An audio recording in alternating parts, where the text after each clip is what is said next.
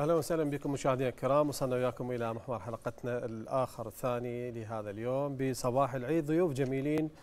تعرفون أيام عيد فأكيد راح يكون آه، ضيوفنا جميلين وحساسين وأصحاب مشاعر عالية وراقين بشكل إحنا كل ضيوفنا دائما لكن اليوم مميزين بشكل. ضيفنا لهذا اليوم آه، ضيفنا سجاد صباح شاعر آه، جميل. بداياته كانت عام 2014 لكن بدايته الفعلية صارت ب 2018 كتب الكثير من القصائد ونقطة انطلاقة كانت قصيدة خايف من شنو خايف؟ راح نسمع من عنده إحنا آه، سر هذه القصيدة اللي هي خايف آه، صور الشعرية جدا جميلة وأنا راح أسولف لكم عليها وايد ليش؟ خلينا نروح له إحنا حتى ما أخلي هذا عامل التشويق موجود بداخلكم ونتعرف عليه أكثر صباح الخير صباح كل عام وأنت بخير.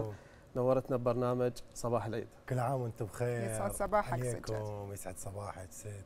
كل عام وأنتم بخير. عليكم وعلى السادة المشاهدين وعلى الشعب العراقي.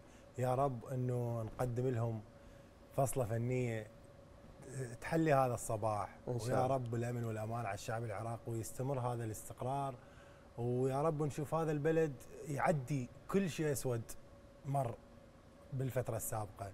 ويا رب إحنا نكون من الناس اللي ولو نساهم بجزء لطيف لأن الفن هو رسالة هادفة. رسالة أحسنت سواء الأغنية أو مهم. الشعر أحسنت. أو المسرحية أو السينما هي كلها أحيانا تصبر الشعب على هواية امور تمر به فلذلك إحنا طبينا بهذا المعترك المعترك الفني حتى ولو نغير جزء من مزاج الشعب من مزاج الناس لا لكم الله. الكبير إن شاء الله. الحمد لله إحنا دائما إن نطلع. شاء الله. أهلا إن وسهلا شاء بك الله. كل التوفيق لك بمسيرتك. سجاد سجاد دائما ما تميزت قصائدك بأنه هي سهلة ودخلت لقلوب الناس بسهولة.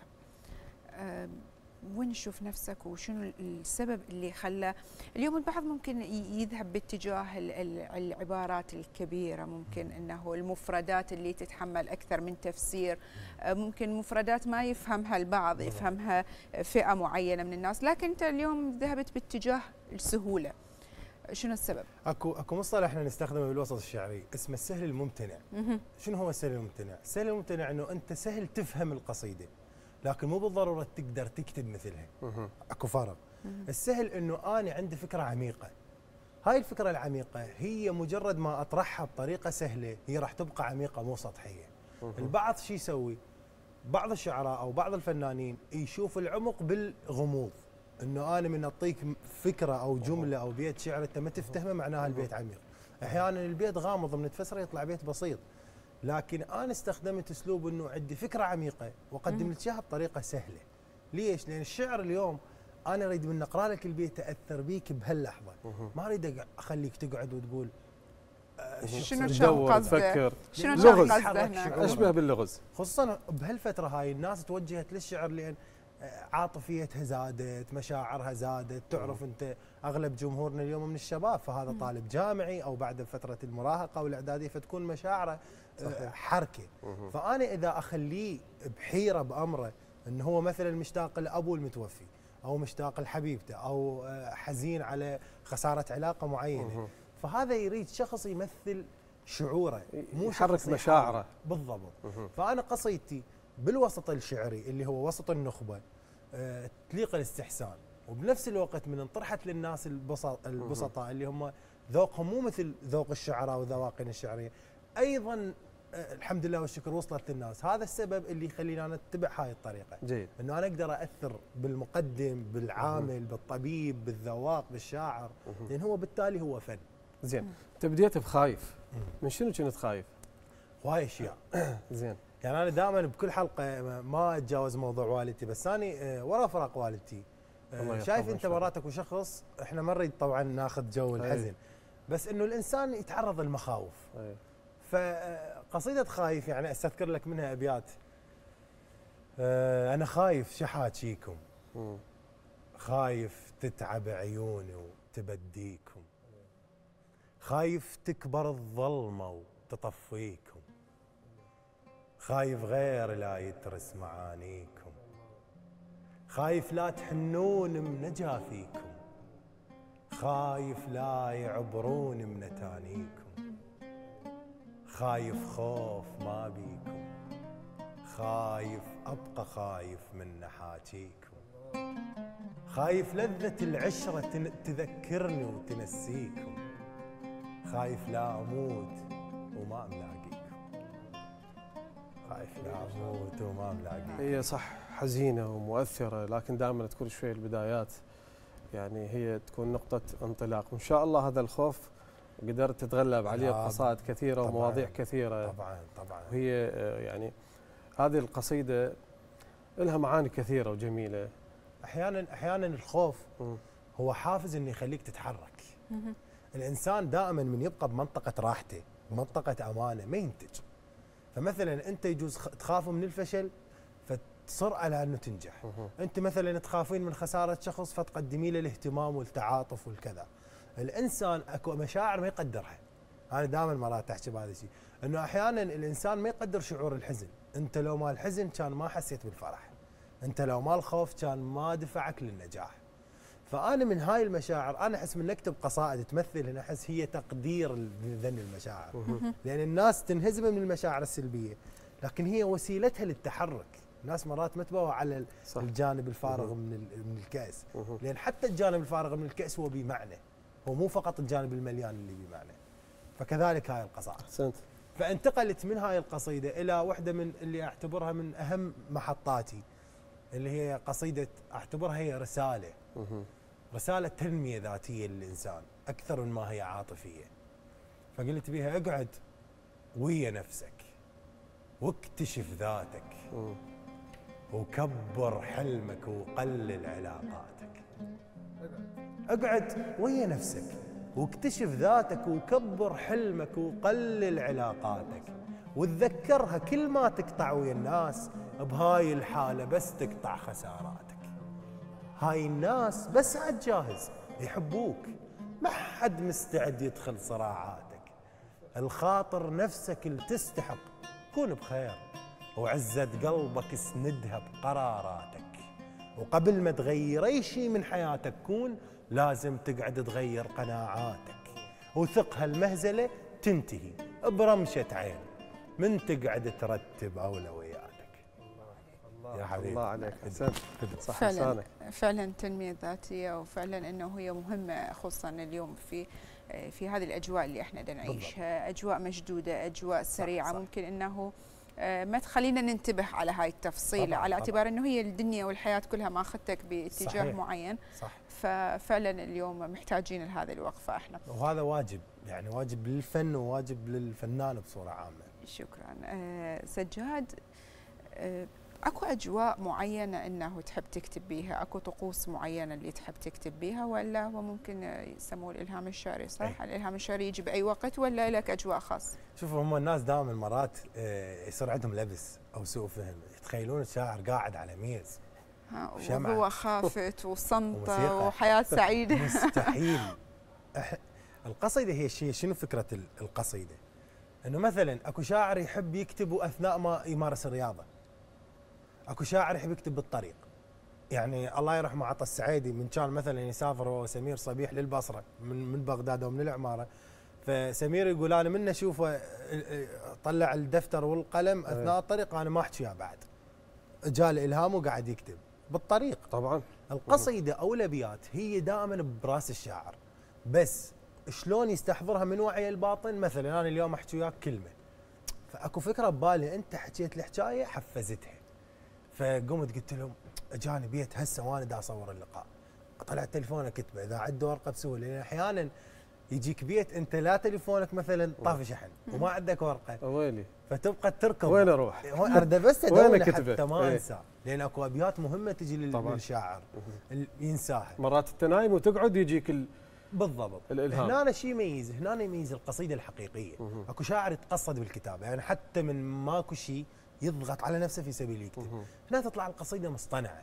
بينما أكو شعراء هو يحترم صمته يعني من ماكو شيء بحياته من مشاعره مستقرة ما أكتب. يابا جديدك نريد أنا ما جاي أحس بشيء. ينتظر شعور حتى يكتب عليه. هنا من يكتب؟ هو ممكن يكون أقل من غيره. صحيح. لكن قصيدته تعيش أكثر ومؤثرة أكثر. لأن تكون صادقه احسنت فهذا اللي يميز بين أجواء الشعر. أما أجواء الخاصة فاني يعني إحنا بيتنا هادئ. هادئ يعني إحنا ما عندنا أطفال صغار بالبيت كذا فمن تجي هادئ يعني أنا ووالدي هدوء فدائما بالليل تجي هيك لحظات آه إنه أحكي ويا شخص أو مثلا دا, دا أسوي شيء فتجيني هاي الإلهام. فأكتب أحيانا أكتب بالطريق الطريقة للشغل الطريقة للجامعه دائما أنا الشعر وياي يعني ما اعزله من أسوي فلان شيء احسه يشاركني وأستلهم من كل الأشياء أبيات وقصائد. أكو قصيدة من القصائد أو بيت من الأبيات أحد من الأصدقاء أحد من المعجبين من الجمهور قال لك هاي القصيدة أثرت بي هاي غيرت حياتي. يعني أكو عندك هيك قصيدة هيك موضوع؟ شوفوا أنا ما أريد أتكلم عن نفسي بس آه يعني شوف الشاعر يبدي مرحلتين مرحلة إنه هو شاب ومرحلة إنه يحصل ملايين المشاهدات ويطلع ببرامج مهمة وكذا. فإحنا تجاوزنا المرحلة الثانية. أنا وهواية من شعراء زملاء شاركوني البدايات طبعا. نعم. بس تذق اكو عندي قصائد مثلا اجاني اجاني شخص قال لي يعني أنا كنت تارك الدراسة وسمعت هاي القصيدة ومن عرفت عرفت سجاد أكثر رجعت للدراسة. أكو شخص مثلا قال عندي أفكار انتحارية. من سمعت ان أنت تقول اقعد ويا نفسك واكتشف ذاتك وحسيت إنه الموضوع آه، آه، شاعر المفضل يحكي فحسيت إنه هي رسالة. إنه أنا جاي أتابعك عن سبب. فمن جت فكرة ببالي سوداوية وأنت طرحت قصيدة أمل حسيت هاي القصيدة رب العالمين دز لي اياها حلو. لأن بالتالي إحنا أحيانا نسوي أشياء بس إحنا نكون مسيرين هي هاي الرسالة الحقيقية. بالضبط. فأنا مؤمن. آه مرات حتى الحزن حتى يعني مرات هسه اليوم أنت تحس بشعور كلش حزين بس تحس ما حد فاهمه. يعني أنا عندي بيت أقول أصعب تعب ذاك ما تفهم الناس ولازم تقعد تشرح. الله. فمن يجيك شاعر تحسه البيك سولفهن هاي لك هاي القصيدة؟ أي. نسمعها بس شنو؟ راح اخذك أنا وياك هسه نروح لدهوك أول شيء شوية. أي. نرخي نسترخي هذا الجو الجميل هناك بدهوك والأجواء اللطيفة. طبعا أنا راح أروح لها بعد كم يوم. صدق والله؟ والله. هسه إحنا هم أنا وياك والمشاهدين راح نروح. رسل ويا زميلنا إياد بالمباشر. أكيد إحنا متواصلين وياكم مع ضيفنا. سجاد سجاد إحنا كلش طماعين اليوم أنه نستثمر وجودك بهذه القصائد الجميلة. يعني تعرف هسه حتى المتابعينك اليوم يعرف قليلا عن حياتك يريد يعرف عن مواضيعك عن قصة صح. القصيدة. صحيح. بس طماع كلش بسماع قصيدة. صح. هاي القصيدة أنا راح أهديها لكم اولا وللسادة المشاهدين ثانيا. قصيدة كلش كلش تعني لي هو تعتبر من الجدد اللي طرحتها جديدة آخر يعني. فترة. أي. وأنتم تستاهلون الجديد. الله يسلمك. كل التوفيق. بنص هذا الضياع انت اللي مصبرني. أي. وتهديني وقت ما وقت توترني بنص هذا الضياع انت اللي مصبرني وتهديني وقت ما وقت توترني انت العافية وانت اكتشاف الذات. مو وياي أحسك لا جزء مني. حبيتك وتدري المثلي صعبه يحب. عيونك سالفة تعب. كذب تارس عيون الناس بس عيونك الحلوات ما تكذب الله الله وتناقض يمك اكتشفه أخاف من أحكي صوت وسبع من اكتب كنت من تقعد بصفي أحس إنجاز. وبوجهك كنت راسم الضحك اعجاز الله. وكنت كل ما تجي تحاكيني قلبي يطير. وكنت كل ما تروح تمشط بشعرك فراغي يصير. وحتى أغلاطك أعبرها مشاعر عندي حد اوسع من التحذير. أحب قمصانك الزغرن وأقدس حتى الذبه وكل ما أقعد من النوم أروح أتريق بأي أغنية تحبها الله الله. وشك أثق بالارتباك اللي يطلع بصوتك. يا عيني. وثقة وادمنا كذبها أشك؟ أثق بالارتباك اللي يطلع بصوتك. إيه. وثقة وادمنا كذبها الله. يا حبيبي. الله الله. عاش إحساسك. يا حبيب قلبي. أه، سجاد أنت من الشعراء الفعالين طبعا حتى على مواقع التواصل الاجتماعي. أه، كثير من قصائدك موجودة كثير من قصائدك. لها فعلا متابعيها والها اللي ينتظروها أنت مع أنه الشاعر يسوق لنفسه عن طريق التواصل الاجتماعي. شوف هي بالبداية خل, خل يعني مثلا أنتم الوسط الإعلامي يختلف عن وسطنا الشعري. الوسط الشعري بالبداية أنت آخر شيء تفكر به التسويق تفكر بقصيدتك. قصيدتك راح توديك لمحطه مهمة بمسيرتك. مثلا قصيدتك توديك البرنامج مهم مثل مثلا برنامج إشتاق لي. فرضا أنت من أنت مو بس من دعاك مثلا تحياتنا للحبيب. تحياتنا تحياتنا يعني أنت اليوم إذا أنت جتك فرصة بحلقة هي هاي مو نجاح هاي فرصة حتى تنجح بيها. هنا قصيدتك ورا ما طرحتها بالحلقة هنا يبدأ التسويق تسويق شلون إنه إحنا مثلا اليوم بمواقع التواصل الاجتماعي تعرفين موضوع إنه القصيدة لازم تنزل بموسيقى حلوة بمقطع مصمم حلو بمكان ما انزل القصيدة دقيقتين ثلاثة ممكن انزلها reels. آه، اتواصل ويا الناس؟ ليش؟ لأن إحنا جاي نشوف الناس شو تسوي. مثلا أنا صديقي المقرب. أشوفه مثلا يشارك reels ات معينة story آه، يحط like ات على إحنا كذلك إحنا صناع محتوى بالتالي. طبعا. هو الشاعر آه، شنو محتوى؟ قصائده شاعريته أفكاره مواضيعه. فهنا شلون يخلي أفكاره وقصائده والمادة الإعلامية اللي يطلع بيها؟ مثلا هسه اليوم إحنا بحلقتنا.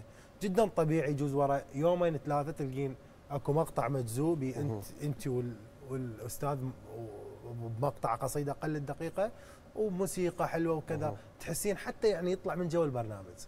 بحيث الحلقة من تشوفها باليوتيوب تختلف عن ما يتم طرحها بال لأن مرات مثلا. أكو حلقات ما ناجحه باليوتيوب. مثلا تنزل الحلقة 5000 مشاهدة باليوتيوب. بس تلقيها بمواقع التواصل الاجتماعي جايبه ملايين المشاهده على اعتبار إنه إحنا اليوم بعصر السرعة ممكن إنه مو كل الناس تقدر تشوف لقاء طوله ساعة أو. طوله أو يشوفه مباشر بالضبط ممكن إنه مثل ما قلت reels دقيقة أو أقل صح. من دقيقه ممكن هو اللي يضرب وهي هاي ساعدت على انتشار القصيدة مهم. اليوم مو بس إحنا أكو شعراء راحلين أمثال عريان السيد خلاف الله. يرحمه كاظم إسماعيل كاطع مقاطع. بشكل يومي تنزل لهم وحتى بتصاميم سينمائية وكذا تعمق لأن هو شنو مثلا؟ تتجدد. بالضبط. أنا. اليوم من أجيب مشهد سينمائي مثلا. لكريستوفر نولان المخرج الكبير ال- الأوروبي. من أجيبه وأخلي مثلا قصيدة زعلان بس يا زعل. هنا أنا, أنا ضفت عمق إضافي للقصيدة. فإحنا مرات نقول لا ال social media خربت الفن وخربت الشعر. لا ال social media هي وسيلة.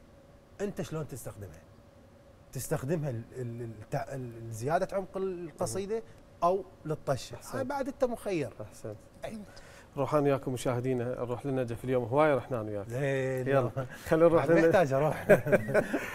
مشاهدينا الكرام نروح وياكم إلى محافظة النجف ونشوف تهاني أهالي النجف بمناسبة عيد الأضحى المبارك.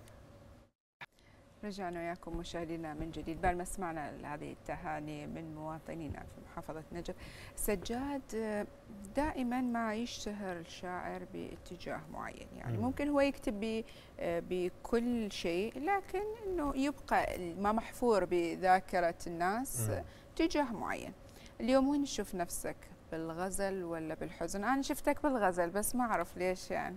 هسه الجمهور يقولون وين هو شايفين شفت شلون؟ أنا شفتك هنا. يلا بعد تحسين أكيد. هي ذائقه ذائقه ال- المستمعين. لا يعني شوف اني بداياتي يعني شوف اجت فتره فترة كانت صعبة. بهاي الفترة الصعبة أنتجت قصائد. هاي القصائد توفقت وصلت للناس. وبوقتها أنا لو كاتب غزل ما كان يكون حقيقي. يعني تخيل أنت ف- جاي تنزف من مكان وفجأة تقول لهم أنا مرتاح؟ أنا ما أبي شيء أنا أحب أنا كذا هاي. مو واقعية وما عايشة. ما عايشة. إيه. لكن من مرة الوقت أنا دائما أرشف لحظات حياتي. مثلا في هاي الفترة مرتاح فأقول لك هاي الفترة حيل مسلطنة وهادي. ورد صاير على أكبر مشكلة بعادي. أعاند بالزمن بالوقت بالأيام. تخلص ناقصنا وما يخلص عنادي. إيه. تجيني فترة ثانية لا. أحس روحي مثلا حزنت إيه. فأقول لك اكتئاب وقوة كل محكي هالقد ما عشت كل شيء قليل أشياء أجربها. وحتى تهرب وما باوع الوجه غرفة الضوء تمر أيام ما يطبها. وأنا تعبان من نقعد بلمة ناس مرتاحين أخربها. والله. فهي القصيدة تعتمد على شعور الشخصي. من أجت فترة شوية أريح أحسن. كتبت قصائد بها أمل أكثر مما بها حزن. فقلت اقدمها للناس أنا كنت مؤمن إنه الشاعر إذا كان حقيقي وصادق بالقصيدة الناس تتقبله لو شنو الموضوع. فشفت ردة فعل الناس على القصائد ال- اللي بها أمل نفس القصائد اللي بها حزن فهي على اعتبار هي هذه. المشاعر الناس المتغيرة هي. هذه هي هي هذه مشاعر الإنسان اليوم أنا. سعيد ممكن باكر. حزين ممكن اليوم مريت بانتكاسه لا بعدها خلص يعني. بس الفرق وين؟ إنه أكو شاعر هو بعد ما مر فتره مرتاح بيها أو ما مر فتره صعبة مثلا هو يكتب غزل قال لا أني أحتاج انوع كأنما القصيدة هو هو يختار يكتب هنا ممكن ما راح يحس هالمتلقي المصطلح. ما أعتقد إنه راح زين. يحس هالمتلقي آه. زين سجاد تكتب صورة غير صورتك أنت يعني هسان اللي أشوفك إنه تكتب الحالة مثل أي. الحالة اللي موجودة أي. بالواتساب اليوم أنا الحالة مزاجي أكتب هذا أي. تكتب حالة مو حالتك صورة مو صورتك مثلا تشوف وضعية صديقك مثلا. شوف راح راح أقول لكم شغلة يمكن تتفاجئون بيها. أي. مرات أكتب صفات بالقصيدة هي مو بي هي عكسي. أكتب صفات أتمنى تصير بي. الله. مثل؟ شنو بالله؟ وهنا اي اي لا والله العظيم يعني مرات مثلا مثلا آه إنه مثلا مزاجي وعندي عاده اخسر هالاشياء وأقرب واحد بيومين اعوضه القصيده تقول أنا ما أقيس نفسي بأي بشر كان الطبيعة أنحب واللي يكرهون مرضى. زين. احترام النفس عنده رأي مسموع على أكبر شارب من احكيه فرضه زين. مزاجي وعندي عادة اخسر هالاشياء وأقرب واحد بيومين اعوضه الله. مع العلم أنا مثلا. آه، صعب إنه القريب مني أتحداه بسهولة لأن أنا أحن أنا شخص عاطفي. بس أحيانا شايف تقول والله أنا لو بس قلبي يبطل محنة فش أسوي أنا هاي الحشايه اللو أكتبها بالقصيدة فاهم شلون؟ زين هاي تضيف لي أيضا بعد ثاني طبعا إنه أحيانا تخلق لي مواضيع هي مو بيه بس أنا ج- أنا جاي أحاول أكتبها لأن أكو شعراء يكتب القصيدة بها أشياء ورا ورا ما يكتبها تصير يعني يتفائل من يكتب حالة تتحقق. جربت أنت تسويها؟ هواي صدق؟ والله. وتحققت؟ طبعا إن شاء الله إيش راح تسمعنا؟ إيش راح اسمع اي أذيتني ودورت شي اقضي بيه يومي وقويتني المرحلة صرت آخر همومي. وش احكي لك على الوجع والمشكلة اللي بالقلب بين على هدومي. المثلي فرصة تجي جا وين تلقاهم؟ أرهم العين ضوء وأرهم الجرح قدوه وتقول لي ما راهم؟ واحكيها بالمختصر ميزتك على البشر ساويتني وياهم من شفتك تغيرت حسيتني تناقضت بردان بس سهذي ومن ودعتني ورحت فزت النايم غلط فزيت متأذي. ما شفت بيدك ورد من عدها وتأكدت ما ضامن الباجر ومن صيحت لك شكو من قلت لي لا ماكو شي حسيت شي صاير. أنا وقليبي ترى بس أنت قصتنا. تزعل تميل تختلف. نبقى على حظنا يا حبيبي. صح لسانك. بدوار عليك. آه، سجاد كانت عندك واحدة من القصائد اللي آه، لاقت شهرة أنت ما كنت متوقعها أساسا. أي. ما كنت محضر لها أساسا. صح؟ طبعا رغم السواد كل ما يشوفني.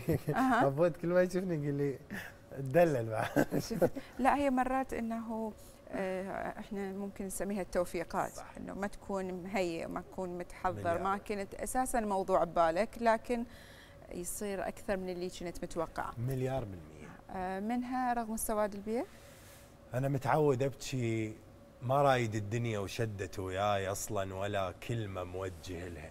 أخلق مشكلة من الماكو وأرتاح حتى أقتل فراغ من أردح لها. اي عندي الأجوبة بس أنا تعبانك وأسئلة أحتاج أنا نسالها إي. من اسمع ناس عاشت انقهر حيل من اسمع ناس ماتت افرح لها عجيب. أنا متعود أبكي يا الله ارتاح. ومن ننجرح من ناس أضحك لها. من هذا السواد البيئة لا تخاف. التجارب تخلق بنادم مثلها. ترى أصعب خسارة من الخسارات اللي تنسيك الخسارات القبل قبلها. الله الله الله الله. أحسنت. طبعا أنا ولو قبل لا تسألون عندي مس... عندكم مساحة أقرأ؟ أكيد إحنا هنا حتى نسمع. شوف أنت خلف الكواليس قلت لي شيء بس أني أعشق إنه أقرأ شيء حقيقي لأحد عايشه. زين. آه الأب يستاهل نقرا له ترى العيد هذا. أي. فقلت له أبوي ينطيك صحتي لو كنت تعبان. وانت المنبع الكل ضوى بعيني يفوت يا ابو علاقة سودا لتارستنا الوان عرفت الأب علامة وواجهة وعنوان. من شفت اللي يدور عن بشر مفقود أول ما تسأل الوادم ابن فلان. وعرفتك منبع الكل ضوى بعيني يفوت يا ابو علاقة سودا التارستنا الوان وقت خلاك تنطر جية الراتب وقبل يا ابويا تحكي لي بجمالك ذاك بس شو شفتك أحلى من صرت شايب أبوي وصاحبي ودمي ولما أم ماتت حتى صرت أمي. ما هزتك شعر الدنيا من صاحت الشمس باهت ضواها وتعبوها الناس بس بخدك ارتاحت. وهالقد ما صديق أنت وحقيقة وياي سوى نبكي على محبوب تراحت سلامتك وباسه لعيونك الله يحفظ والدك أنا آسف طبعا. آه، آباء المتوفين. بس أنا دائما يعني من أشوف شخص أكو موضوع يعني أو يخاف يسمعه اقرا له ليش؟ لأن أنا من واحد يجي يقرأ قصيده للأم رغم أني فاقد الأم بس أرتاح حتى من شوية. يعني أحس يرجعني إلها يخليني بهذا المكان. وهاي إذا أنت عايفها بس إذا هي مثلا عايشة وياك مثلا الأب هسه يعني مثلا أنا والدي الله يرحمه ويرحم الله يرحمه. والديكم عايش وياي يعني تعرف شنو؟ كل يوم يعني هو يجيني بالحلم. معايفني هاي السنين كلها. يعني معايفني نهائيا. شوف إحنا إحنا العراقيين هسه مرات يقولون عيد. اليوم قاعد ويا شخص هو يعني خارج. قلت له أنت تدري إحنا بلا بلا عياد. أول شيء نسوي نروح للمقابر. نتذكر الفاقدين نروح للمقابر بالضبط. لأن هي الفرحة تاخذ عمق أكبر من من من تتذكر بها شخص لأن هي الخسارة ترى مو بالموت الخسارة من أنت تنسى الشخص. يعني أنت أنت من تفقد والدك وأنا أفقد والدتي. إذا إحنا ما طمحنا وما حققنا نجاحات بحياتنا هنا هم راحوا بس ما دام أنت باقي وتمشي بحياتك فوالدك موجود وياك. يباوع لك مثل ما أنا أحس ان والدتي تباوعني. آه. لأن هي هيك ترى. الله يرحمها برحمته الواسعة ويرحم أمهات المتوفين ويحفظ الباقين من عندهم آمين يا أنا أشكرك هواي سجاد على حضورك وأشكرك على هذه المتعة اللي متعتنا إياها طول ما أنت موجود. كل عام وأنت بألف خير مرة ثانية وكل عائلتك بألف خير. ويا رب كنا خفيفين الظل وآسف طبعا شكرا لك شكرا. اثرت سجونك وإن شاء الله يعني آه هذا العيد يكون آه بداية خير وبداية امل على الناس ونلتقي بوقت ثاني. إن شاء الله. شكرا جزيلا لك شكرا.